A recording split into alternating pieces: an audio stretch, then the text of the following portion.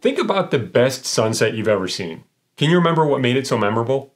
It might have been the trip you were on or the person you were with, but you were probably also struck by the incredible color.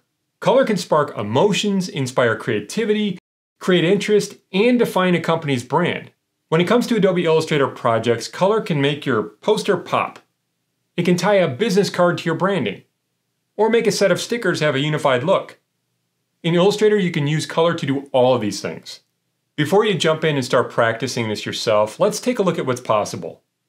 Color probably isn't something new to you. You've probably changed the color of text before, or added a border to a shape in some other app. You can do both of these in Illustrator, and we even have special terms for them. Fill is the color inside of text or a shape, and stroke is the border around it.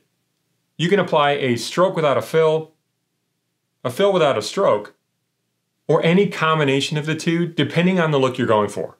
You'll see stroke and fill show up as these icons all over in Illustrator when you work with color. Now the stroke and fill for shapes can be a solid color, but you can also apply a blend of colors called a gradient, maybe to add some depth, or a repeating pattern, maybe to show some texture.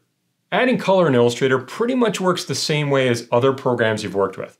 You can select an object and pick a color from your default colors. But what if you need to use a particular color?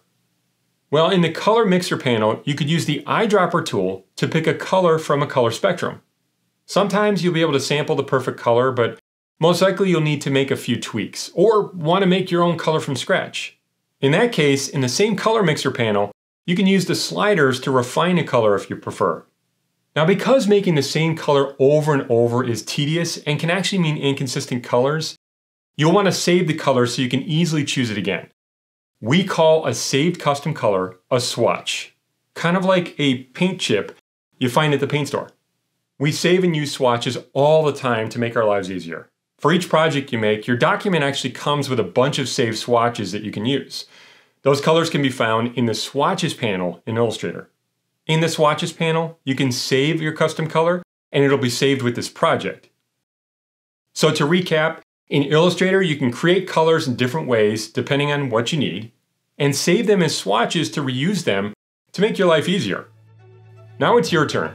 Start this tutorial with step-by-step -step instructions to practice making and adding color to artwork.